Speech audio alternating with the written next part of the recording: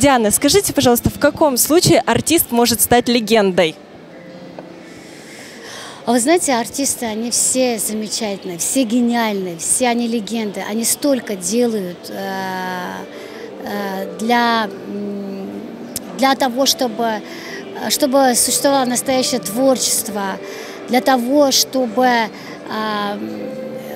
скажем так, детки, люди, в общем-то, смотрели эту э, красоту, э, чтобы они ощущали настоящее творчество. Они все легенды, знаете. А, это колоссальный труд, и они настолько удивительные, каждый из них, поэтому, как бы, безусловно, э, их труд, их трудолюбие, а, их любовь к творчеству делает все для того, чтобы они становятся легендами. Можете назвать, кто для вас легенда в российском шоу-бизнесе? Все, все мои коллеги для меня, они все любимые, все они замечательные. Я, вы знаете, не могу кого-либо выделить, потому что для меня они э, все удивительные, замечательные. Я у них многому учусь сама. Поэтому Чему вы учитесь? Вы уже... Многому, знаете.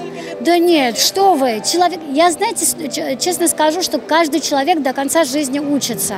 Я сама очень многому учусь у моих коллег.